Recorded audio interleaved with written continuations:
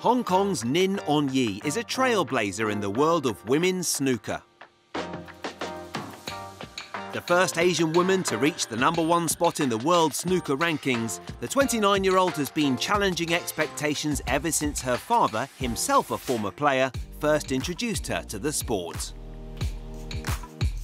One day he took me out with him to the competitions and I saw him in his snooker suit, like, like me today. Then I think it will look great on me. And then I asked my father to teach me how to play. And then I started to enter some local tournaments. Until 2009, I won my first uh, overseas in India. And then after that, I decided to choose snooker as my career. I'm a former World Ladies uh, number one, current number two, and three times WWS World Champion. In Antalya last year, On-yee claimed the IBSF World Championship title for the third time in her career. It was absolutely over the moon, and I actually I couldn't believe it after I lifted the trophy or uh, after the frame I shook hands with my opponent, I still couldn't believe it. And then after that, I ran to my coach and celebrate together. Last year, I have a chance to play at the Crucible for the ladies event. Crucible is the biggest arena for the snooker, so hopefully I will have a chance to go back there to play again. Maybe qualify to a professional player so I can play there.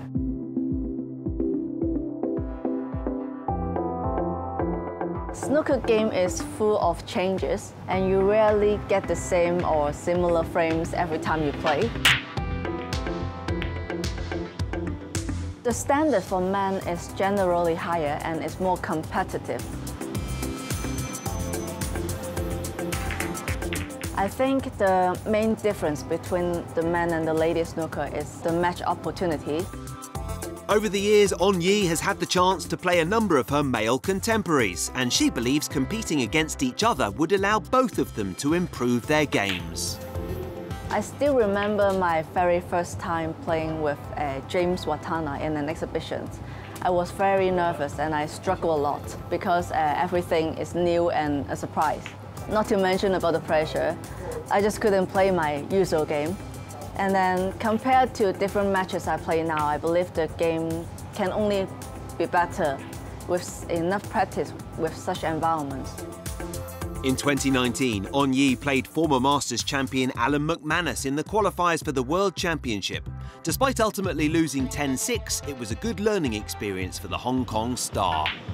At least my hand wasn't shaking as much, and then I was able to deliver more uh, about my game. Alan also gave me more directions uh, on what and where I need to improve my game on.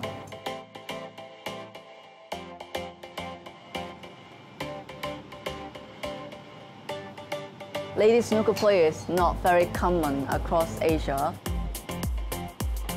I think snooker is a gentleman game, but I think the media has a huge influence on how society views women. And also there are more and more companies are making an effort to promote the diversity and equality and more noise. So hopefully that will make the old wheels change. Overall, I believe the number of the opportunities for ladies and for disabilities is heading a very positive direction with more and more publicity about the game.